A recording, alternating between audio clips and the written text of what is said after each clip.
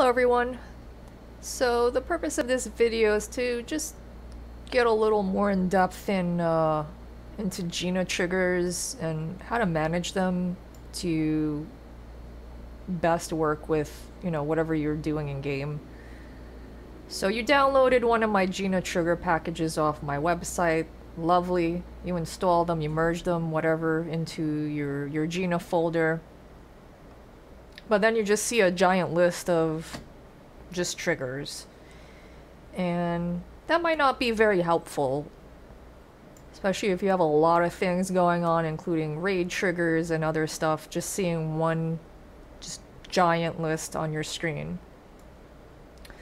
So I'm gonna just open up my Gina program here.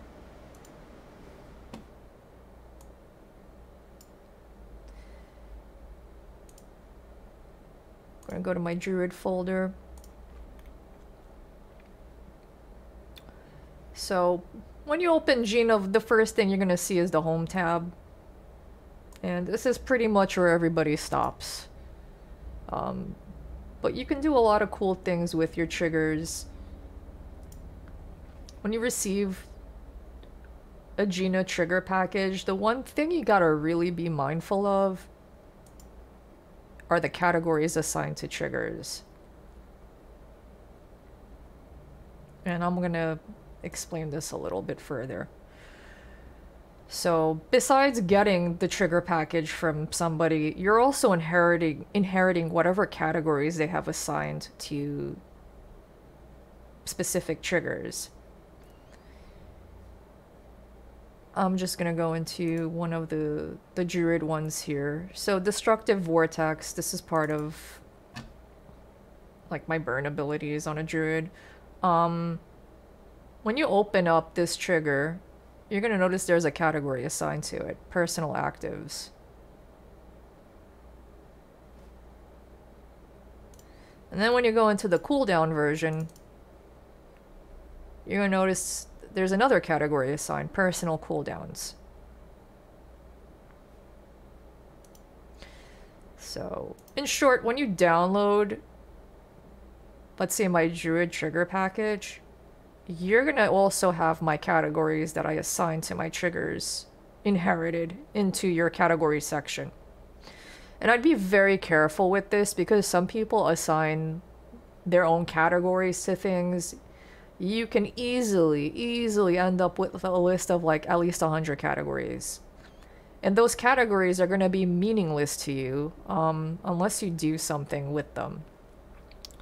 So I'm pretty diligent when I get triggers or trigger packages from people to go into my category section and delete or adjust, you know, whatever I need uh, based on my own settings. So how do you use these categories that you see are assigned to triggers when you open them up?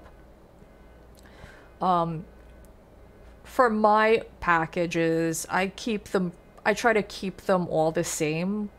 Um, let's see, I have one, two, three, four, five, six. I have, I generally limit it to six categories. Um, so ADPS active, ADPS cooldown. When you toggle between both of these categories, they are both assigned to an overlay for my timers. Um, they're assigned to an overlay called ADPS timers.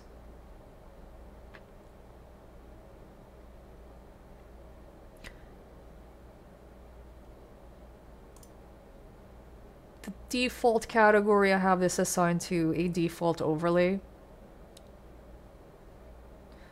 For my Enchanter Night's Perpetual Terror, there's a specific overlay for it called MPT list. This way I just see a list of MPTs that either myself or other enchanters are casting, so this way we don't double up on MPTs. Personal actives and personal cooldowns, I have those assigned to a personal timers overlay. And I'll show you how these overlays appear. Uh, the other thing, um, in each of these categories, uh, they're also color-coded.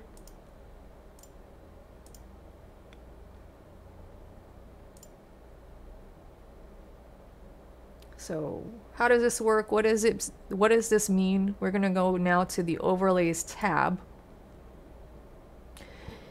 And I have four overlays. You basically add an overlay and then you name it, do whatever you want with it. So I have four overlays that correspond to where the categories are being assigned to. I'm going to click on them right now. So this is the default overlay, personal timers overlay, ADPS timers overlay, and my MPT list overlay.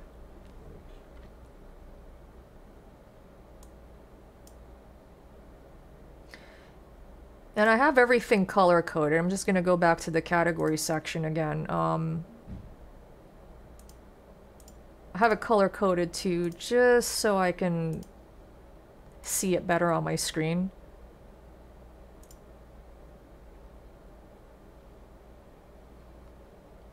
And here you can adjust like the size, the, you know, other things you feel like adjusting, but just so you see how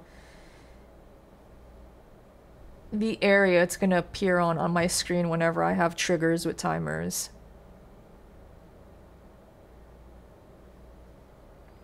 So I'm going to just turn these off so you see how it works. Uh, let's see if... Uh, when I do a Season's Wrath debuff, it's going to appear in my default overlay box. And this is also where all my general raid triggers are going to appear as well, anything that has timers. When I do group wolf or receive group wolf, you're going to see that's in my ADPS timers box or overlay. When I'm burning and I'm using like personal things.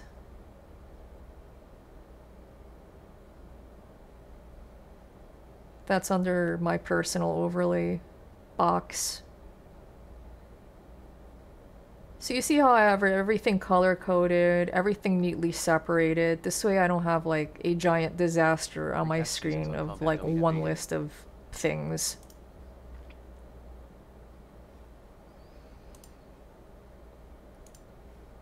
No, my enchanter does uh, IOG. IOG. Just, I just need to swap back. I also see my enchanter's IOG.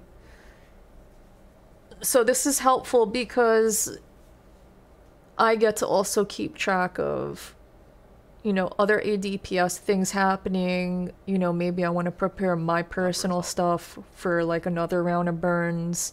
Um, or hold off on it. You know, when I see something's about to be off cooldown soon.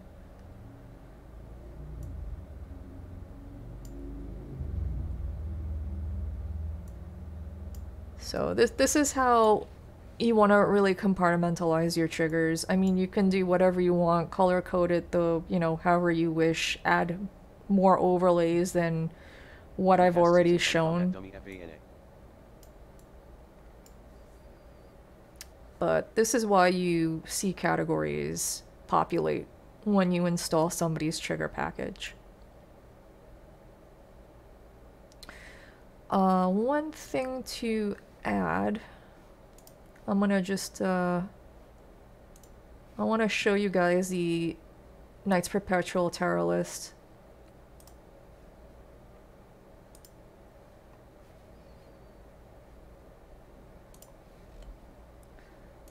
So if I cast MPT on a player,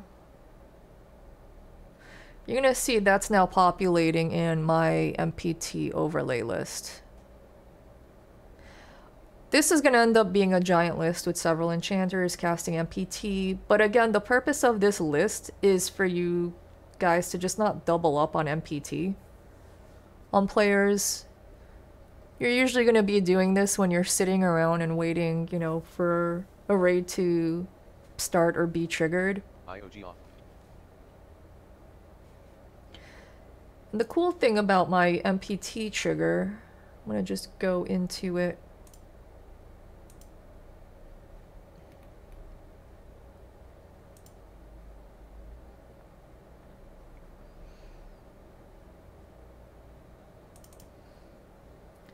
When you go into the MPT timer trigger and you go into the timer tab, there's a section which says end early text. And you can put like multiple values here. But when I type end MPT in group, in group chat, it's gonna just make the list vanish. And uh, that's something that, you know, I like to do. I don't want to stare at a list of like 20 players MPT'd. And if for whatever reason I, I do keep the list active while I'm raiding, um, you know, if somebody dies, their name will get cleared off the list.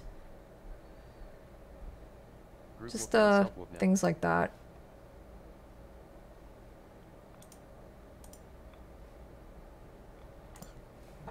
So just to kind of show you in action, I'm just going to drag out my, my windows because I know they're hidden. So by default, my chat is set to speak in group by default. So if I do end MPT, you see it says you tell your party end MPT and the list just vanished. So that's how I declutter my screen with a giant list of MPTs.